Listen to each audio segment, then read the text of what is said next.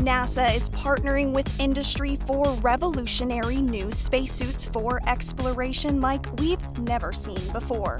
These personalized spaceships will be more high tech and modern, provide a better fit for a larger range of sizes, and adapt to a more diverse group of astronauts, and have better protection from the harsh environment of space.